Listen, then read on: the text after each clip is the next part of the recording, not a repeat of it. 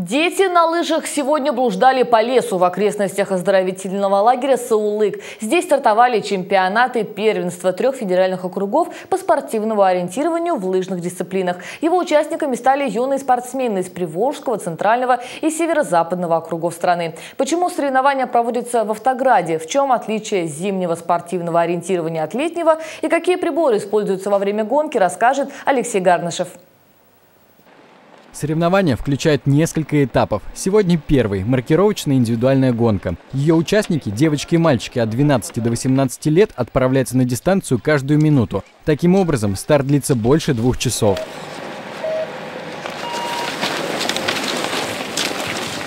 Состязания в набережных Челнах должны были проходить только для спортсменов Приволжского федерального округа. Однако причуды зимы и здесь сыграли свою роль. В центральной России и на северо-западе страны просто не оказалось снега. Поэтому состязания трех округов объединили, в результате чего участников стало больше 500, а спортсменам из других регионов приходится приспосабливаться к нашим условиям. Наши места сильно отличаются от этих, то есть у нас почти нет снега, мы катались по льду, а здесь просто горы снега и другой рельеф, конечно же, это намного тяжелее становится для нас. Перед самым стартом участникам выдается карта. Из-за того, что руки во время гонки заняты, она крепится на специальный планшет. Пройти дистанцию нужно на скорость, однако ориентировщики отмечают, что главное – соблюсти баланс между скоростью и определением своего положения на маршруте. Просто ехать, понимать, читать дистанцию, не, бежать, не ехать быстрее, ну как бы то, что лыжи едут быстрее тебя, а ты не думаешь. Вот это не надо так делать. Если совмещать и скорость, и ум, то тогда ты точно займешь первое место, как мне кажется.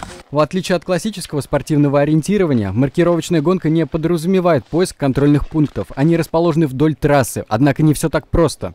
Существует два вида контрольных пунктов – ложные и истинные, которые отмечены на карте спортсмена. Подъезжая к контрольному пункту, он отмечается на кнопке «Да», если этот пункт находится в его карте, и «Нет», если не находится. Ошибочное определение КП обойдется в штрафную минуту. Для фиксации времени и отметок у каждого ориентировщика на пальце специальный чип, который он и прикладывает к нужной кнопке. В чемпионате, соответственно, у нас участвуют и мастера международного класса, порядка 34 человек это только мастера, порядка 15 человек мастера международного класса.